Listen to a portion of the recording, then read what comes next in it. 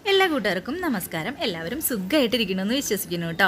അപ്പോൾ നമ്മുടെ പുതിയൊരു ദിവസത്തിലേക്ക് എല്ലാവർക്കും സ്വാഗതം. അപ്പോൾ ഒരു തമാശ കേട്ട് വീണ്ടും വീണ്ടും ചിരിക്കാൻ ആഗ്രഹിക്കാത്ത നമ്മൾ എന്തിനു വേണ്ടിയാ നമ്മുടെ ദുഃഖങ്ങൾ വീണ്ടും വീണ്ടും ആലോചിച്ച് സങ്കടപ്പെട്ടുകൊണ്ടിരിക്കണേ? അല്ലേ? ഞാൻ പറഞ്ഞതൊന്നും അല്ല കേട്ടോ. ചാർലിൻ ചാപ്ലിൻ പറഞ്ഞിട്ടുള്ളതാണ്.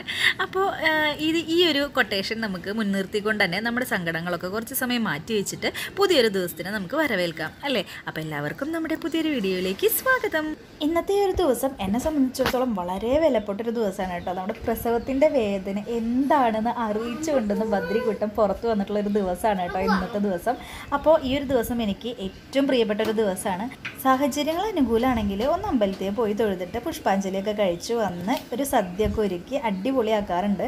പക്ഷേ ഇന്നത്തെ ഈ ഒരു സദ്യ എന്ന് പറയുന്നത് ഒരു തട്ടിക്കൂട്ടൽ സദ്യയാണ് കേട്ടോ. എന്നാലും അത് ചെയ്തില്ലെങ്കിൽ എനിക്ക് ഭയങ്കര ബുദ്ധിമുട്ടാണ്. അപ്പോൾ അത് കാരണം കൊണ്ട് ഒരു കുഞ്ഞൊരു സദ്യയും കൂടിയും ഒരുക്കല ഒരുക്കലാണ് ഇന്നത്തെ നമ്മുടെ വീഡിയോ എന്ന് പറയുന്നത് കേട്ടോ. പിന്നെ എന്റെ പ്രസവ സമയത്ത് ആ ഒരു ഓർമ്മകളൊക്കെ നമ്മൾ ഓർത്തെടുക്കുന്ന ഒരു ദിവസവും കൂടിയാണ് ആ ഓർമ്മകൾ നിങ്ങളായിട്ട് ഷെയർ ചെയ്തതിന് ശേഷം നമുക്ക് നമ്മുടെ സദ്യ പരിപാടികളിലേക്കൊക്കെ കിടക്കാം. അതിന് ശേഷം നമുക്ക് വർക്ക്ഷോപ്പിലേക്ക് പോകണം.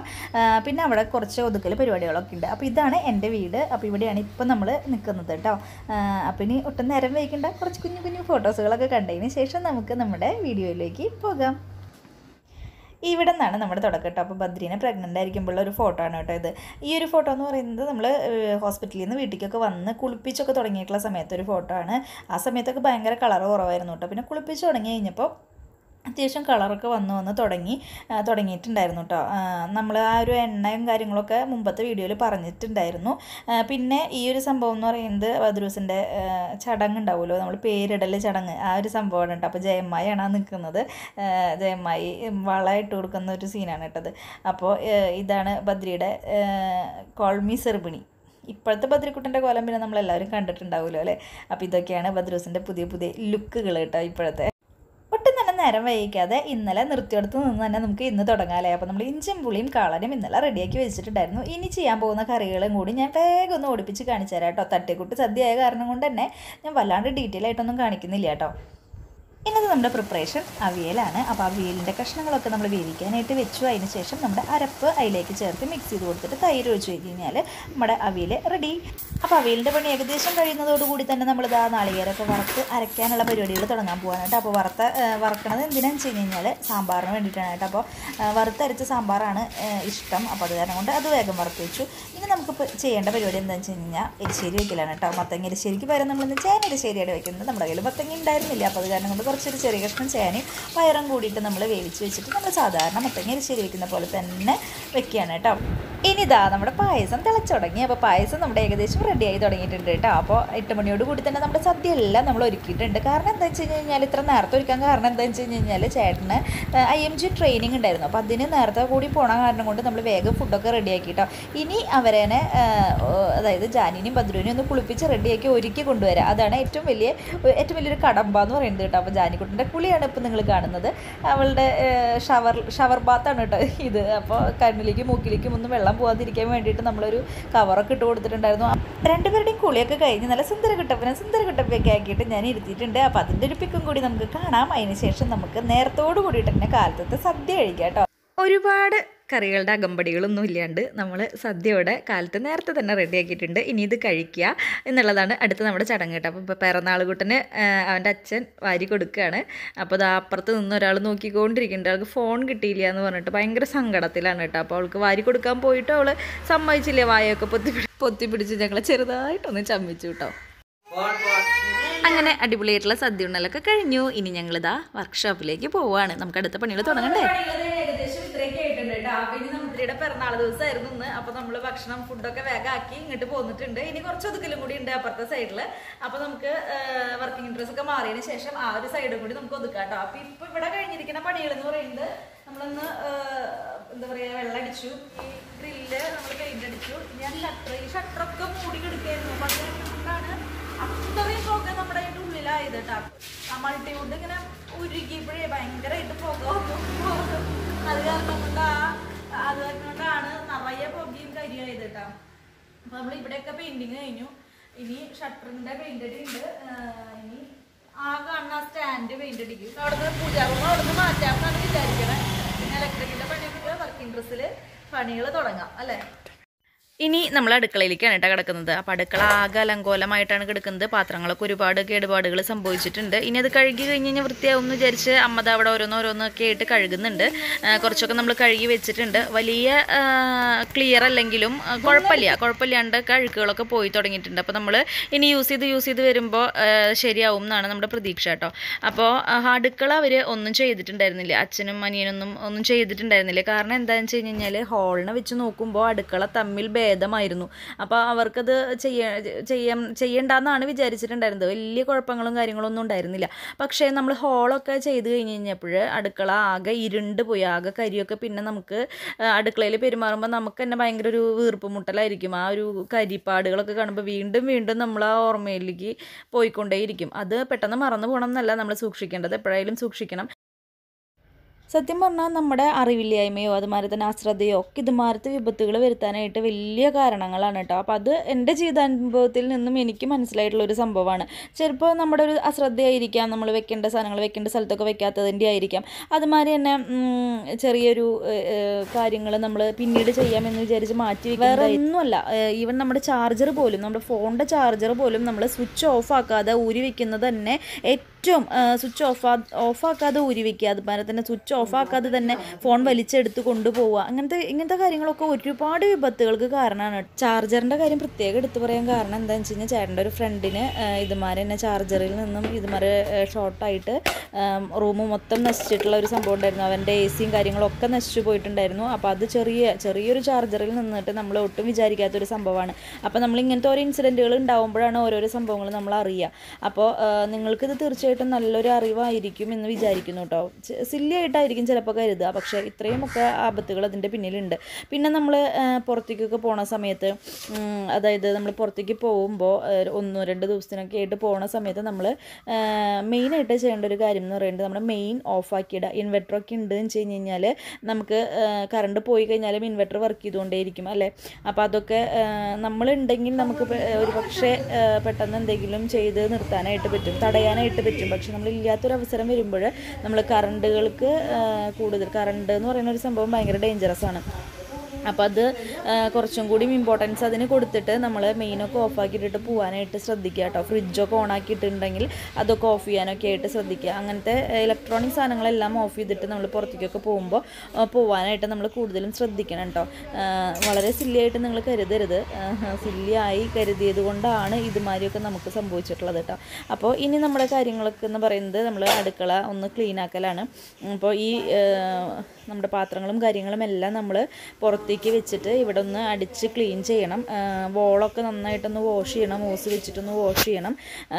അതിന് ശേഷം അവിടുത്തെ കരിയൊക്കെ ഉരച്ച് കളഞ്ഞിട്ട് നമ്മൾ വൈറ്റ് വാഷ് ചെയ്യാം എന്നാണ് വിചാരിക്കുന്നത് കേട്ടോ. അപ്പോൾ ഈ സംഭവങ്ങളിലൊക്കെ നമ്മൾ പുറത്തിറക്കിയതിന് ശേഷം നമുക്ക് ആ വക പണികളിലേക്കൊക്കെ കിടക്കാം. തേച്ച് നോക്കിയേ കളർ പോകണ്ടോ നോക്കിയൊക്കെ തേച്ചിട്ട്. എന്നെ ആ പൂവ് എന്ന് വെച്ചാൽ വെറുതെ ഒന്ന് കഴുകിട്ട് പെയിന്റ് അടിക്കണം. അല്ലാണ്ട് ആ.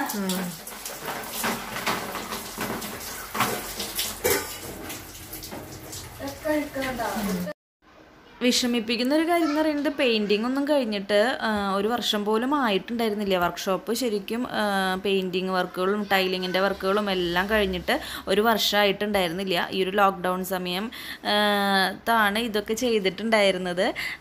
അപ്പോൾ അതാണ് ഒരു വിഷമം. നമ്മുടെ പെയിന്റിങ്ങിന്റെ ഒരു ഫ്രഷ്നെസ് പോലും പോയിട്ടുണ്ടായിരുന്നില്ലായിരുന്നു.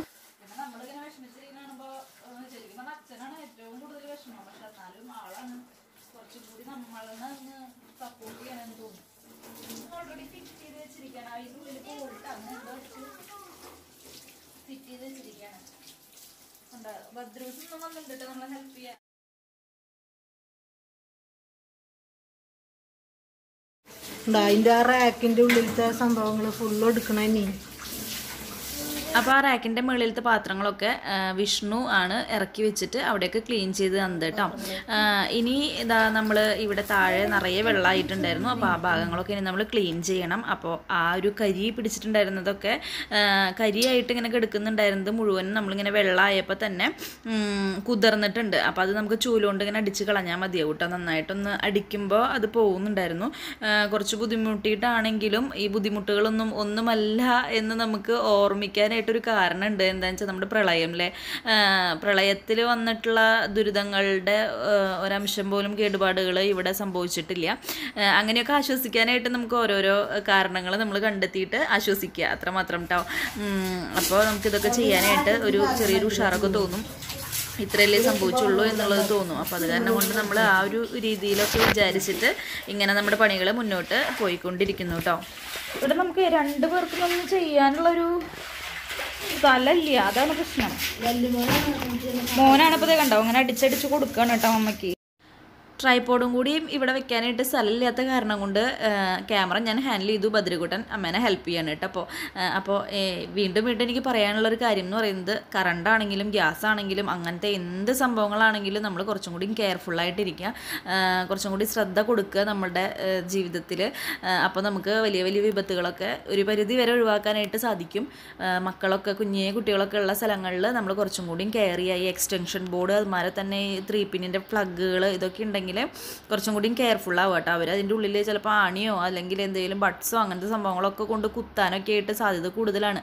അപ്പോൾ അത് കാരണം കൊണ്ട് അതൊക്കെ നമ്മൾ പെട്ടെന്ന് ശ്രദ്ധിക്കേണ്ട ഒരു കാര്യമാണ് കേട്ടോ. അതൊക്കെ മൂടാനായിട്ടുള്ള എന്തെങ്കിലും മാർഗങ്ങളൊക്കെ നോക്കുക. അല്ലെങ്കിൽ അവരെ കുറച്ചും കൂടിയും കൂടുതൽ കെയർ ചെയ്യുക. അങ്ങനത്തെ സംഭവങ്ങളൊക്കെ ചെയ്യുക.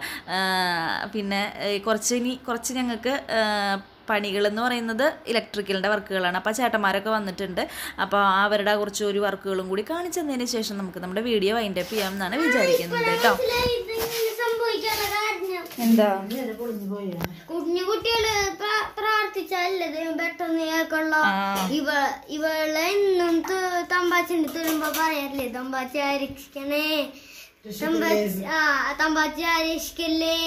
രക്ഷിക്കല്ലേ രക്ഷിക്കല്ലേ എന്ന് പ്രാർത്ഥിച്ച കാരണമായിരിക്കും. വേണമെങ്കിൽ ഇങ്ങനെ ഒരു അപകടം വരുത്തിയതെന്നായിരിക്കും അതെ അതെ ഇപ്പോഴാണ് ഭദ്രയ്ക്ക് അത് ഓർമ്മ ഉണ്ട് അല്ലേ ഭദ്ര ശരിക്കും ജാനിയുടെ പ്രാർത്ഥന അങ്ങനെയാണ്. തമ്പാച്ച കാത്തുകൊള്ളണേ രക്ഷിക്കല്ലേ രക്ഷിക്കണേ എന്നാണ് ആൾ ഉദ്ദേശിക്കുന്നതെങ്കിലും രക്ഷിക്കല്ലേ എന്നാണ് പറയാറ്. ഇനിയിപ്പൊ അതിന്റെ പരിണിത ഫലമായിരിക്കും ഇത് എന്നാണ് ഭദ്രൂസ് പറയുന്നത്.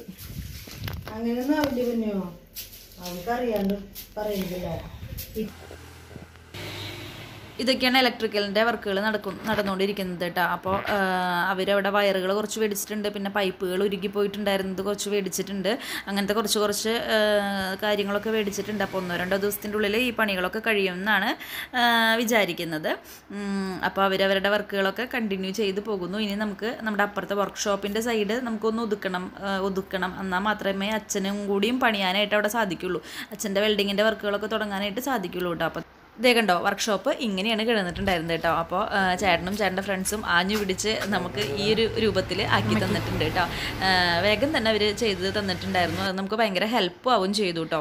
പിന്നെ ഇതെന്താ അറിയോ? നമ്മുടെ ജനാല പൊട്ടിച്ചപ്പോൾ ഉണ്ടായിരുന്ന ചില്ലുകളാണ് കേട്ടോ. അപ്പോൾ അതൊക്കെ നമ്മളൊരു ചാക്കിലാക്കിയിട്ടുണ്ടായിരുന്നു. അതുമാതിരി തന്നെ നമുക്ക് ഉള്ള വേസ്റ്റുകൾ നമ്മൾ കത്തി പോയിട്ടുണ്ടായിരുന്ന വേസ്റ്റുകളും എല്ലാം കൂടി നമ്മളൊരു ചാക്കിലാക്കിയിട്ട് വർക്ക്ഷോപ്പിന്റെ സൈഡിൽ വെക്കുകയാണ് ചെയ്തത് കേട്ടോ. അപ്പോൾ ഇവർ നമ്മൾ പെട്ടെന്ന് കാണാനിടയായത് എന്താണെന്ന് വെച്ച് കഴിഞ്ഞാൽ നമ്മുടെ മുന്നിലത്തെ പാടമുണ്ട് അപ്പോൾ മുന്നിലത്തെ പാടത്ത് ഉള്ള ഉള്ള കുപ്പിച്ചില്ലുകൾ അതുമാതിരി കുപ്പികൾ പ്ലാസ്റ്റിക്കുകൾ ഇതൊക്കെ പെറുക്കാനായിട്ട് വന്നിട്ടുണ്ടായിരുന്നതാണ് കേട്ടോ. അപ്പോൾ നമ്മൾ പെട്ടെന്ന് കണ്ടപ്പോൾ അവരെ വിളിച്ചു. അവർ വലിയ ചാക്കുകൾ ഇതേ കണ്ടോ? ഇതുമാരെ മൂട്ടിയിട്ട് ഒരു വണ്ടിയിലാണ് വന്നിട്ടുണ്ടായിരുന്നത്. അപ്പോൾ അവർ അങ്ങനത്തെ കുപ്പിച്ചില്ലുകൾ പ്ലാസ്റ്റിക്കുകളൊക്കെ അതിൽ എടുത്ത് ഇടുകയാണ് കേട്ടോ ചെയ്തിട്ടുണ്ടായിരുന്നത് അപ്പം നമുക്കത് വലിയ ഉപകാരമായി അവർ വന്നത് കാരണം എന്താ വെച്ചാൽ നമ്മുടെ അവിടെ ഉണ്ടായിരുന്ന ആ വേസ്റ്റുകളൊക്കെ നമ്മൾ അവർക്ക് കൊടുത്തു വിടുകയാണ് ചെയ്തത്. അപ്പോൾ അത് നമ്മുടെ സ്ഥലത്ത് നമുക്കതൊരു എവിടെയാണ് കൊണ്ടിടേണ്ടത് എന്നുള്ളൊരു ആശങ്കയിലാണ് നമ്മൾ ഇരുന്നിട്ടുണ്ടായിരുന്നത്. അപ്പോൾ അപ്പോൾ അവരത് കൊണ്ടുപോയപ്പോൾ നമുക്ക് ആ ഒരു ഏരിയ ക്ലീൻ ആയിട്ട് കിട്ടിയിട്ടുണ്ട്. അപ്പോൾ ഏകദേശം ഒക്കെ ഇപ്പോൾ ഒതുങ്ങിക്കൊണ്ട് വരികയാണ് കേട്ടോ നമ്മുടെ വർക്ക്ഷോപ്പ് അപ്പോൾ നമുക്കിനി പുതിയ വീഡിയോകളുമായിട്ട് അടുത്ത ദിവസങ്ങളിൽ കാണാം. അപ്പോൾ അതുവരേക്കും ടാറ്റ ബൈ